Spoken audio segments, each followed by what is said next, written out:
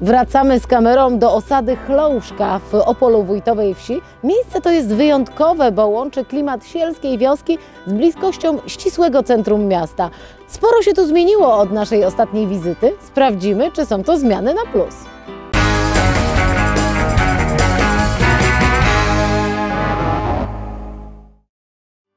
Kiedy spotkaliśmy się ostatnio, rozmawialiśmy o apartamentach wśród zieleni. Apartamenty są, wiem, że są już pierwsi mieszkańcy. Na co się skarżą?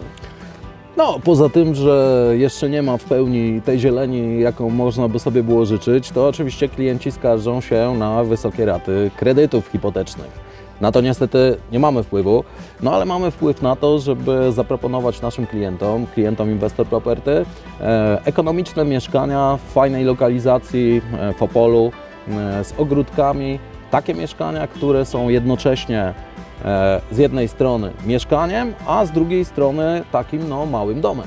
Mały dom e, blisko ścisłego centrum miasta. To prawda. E, mały dom położony w atrakcyjnej lokalizacji, gdzie mamy bliskość terenów zielonych, gdzie mamy jednocześnie, poza tym, że są te tereny zielone, że jest fajnie i ładnie, to e, mamy też bliskość infrastruktury miejskiej, która jak wiadomo każdemu jest potrzebna.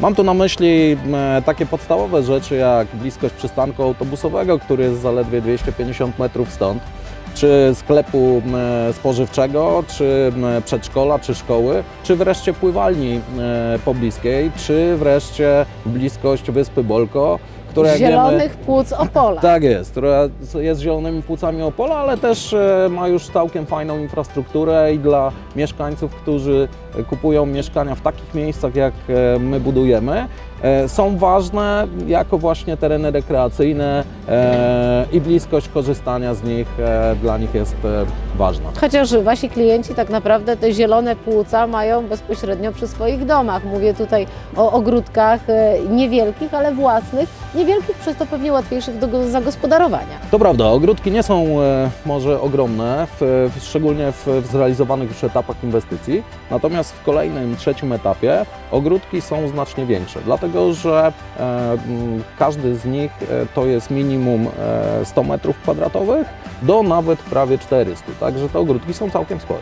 Sporo się tu zmieniło od naszej ostatniej wizyty. Są etapy, które już zakończyliście i takie, które są w trakcie realizacji. Tak naprawdę mamy trzy etapy e, realizacji inwestycji. Pierwszy etap, e, który stanowi mniej więcej połowę e, wszystkich mieszkań, już został oddany klientom. Niektórzy zdążyli się już nawet wprowadzić. E, Czyli grill majowy przed nimi. Mam nadzieję, że tak.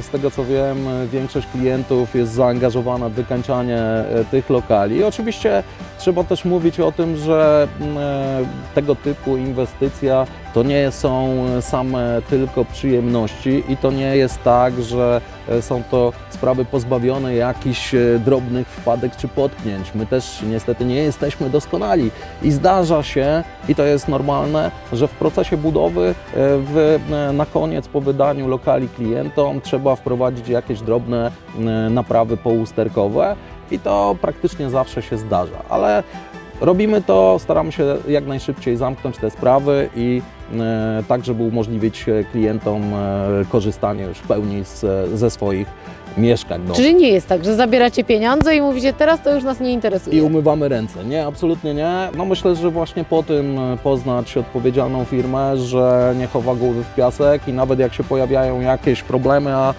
w, w tej branży mm, problemy to niestety standard. To nie, mamy do czynienia z ludźmi, wiemy jak jest na rynku pracy dzisiaj, e, jak było do niedawna e, w, w, na rynku budowlanym, więc z, dostępnością materiałów budowlanych, no to na to składa się wiele czynników, które powodują, że nie zawsze wszystko jest idealnie.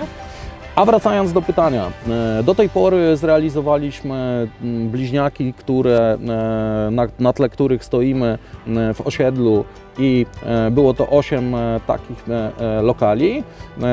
To są właśnie takie mikrodomki, można powiedzieć. I zrealizowaliśmy 20 mieszkań w zabudowie szeregowej, czyli w układzie piętro-parter.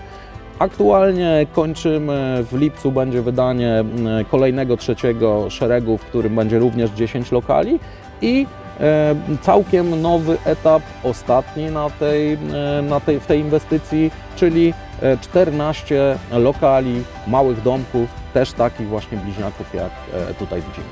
I to jest e, temat na e, jakby bieżący, najbardziej e, aktualny. Dla nas e, przy każdej inwestycji istotne jest, żeby nasi klienci mieli poczucie, że mogą do swojego mieszkania dojechać suchą stopą, że ich osiedle jest e, oświetlone nowoczesnym, e, nowoczesnymi latarniami LED w tym przypadku. Robimy też takie rzeczy jak właśnie plac zabaw na osiedlu czy komórki lokatorskie, więc to są rzeczy dodatkowe, na które zwracamy szczególną uwagę. Zależy nam na tym, żeby obraz osiedla jako całości stanowił complementar não usá-las.